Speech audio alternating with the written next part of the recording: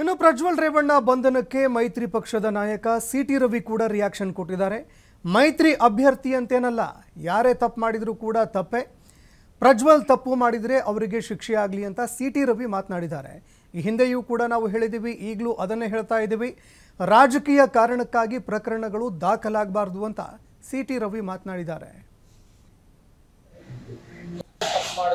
ರಕ್ಷಣೆ ನಾವು ಮಾಡೋದಿಲ್ಲ. ಹೇಳ್ತಾ ಕಾನೂನು ಮೀರಿ ಯಾರು ಇಲ್ಲ ಯಬೋದಲ್ಲ ಅಂತ ಯಾರು ಅನ್ಕೊಳ್ಬಾರ್ದು. ತನಿಖೆ ನ್ಯಾಯಯುತವಾಗಿ ನಡಿಬೇಕು. ತಪ್ಪು ಮಾಡೋದ್ರಿಗೆ ಶಿಕ್ಷೆ ಆಗಬೇಕು. ಕುಮಾರಸ್ವಾಮಿ ಅವರು ಕೂಡ ಇದೇ ಮಾತನಾಡಿದ್ದಾರೆ ಯಾರೇ ತಪ್ಪು ಮಾಡಿದ್ರು ಅವ್ರ ರಕ್ಷಣೆ ನಾವು ಮಾಡೋದಿಲ್ಲ. ತಪ್ಪು ಮಾಡಿದವ್ರಿಗೆ ಶಿಕ್ಷೆ ಆಗಬೇಕು. ತನಿಖೆ ರಾಜಕೀಯ ಪ್ರೇರಿತ ಆಗಬಾರ್ದು. ಯಾರನ್ನೂ ರಕ್ಷ, ರಾಜಕೀಯ ಕಾರಣಕ್ಕೆ ರಕ್ಷಣೆನೂ ಮಾಡಬಾರ್ದು. ರಾಜಕೀಯ ಕಾರಣಕ್ಕೆ ತೊಂದರೆಯೂ ಆಗ್ತಾರೆ ನ್ಯಾಯಯುತ ತನಿಖೆ ನಡೆದು, ಆಮೇಲೆ ಕ್ರಮ ಆಗಿ ತಪ್ಪು ಶಿಕ್ಷೆ ಆಗಿ. ಲೇಬಲ್ನಿಂದ ಹೇಳ್ತಾ ಇದ್ದೀವಿ.